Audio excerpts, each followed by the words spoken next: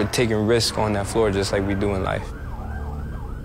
The best moments in the world where you're like, damn, I just made this happen. My name's Kid Glyde. I'm from Queens, New York. I learned to break in the 90s.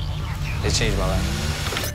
Breaking is hip hop's first dance. I learned from my father, Glyde, or Sir Glyde now. he was a leader. He took it to greater heights. Holding the legacy of my father passed down to me, you know, there's a lot of pressure. I have doubts, I have fears, I, you know, I have all these things going on in my head. I have that little voice saying, nah, you can't do it. Finally, one day I felt like, you know what, it's time. Check this out. I'm ready to represent. My shoulders carry the dance my father taught me. The pressure to stay on top and the chance at greatness.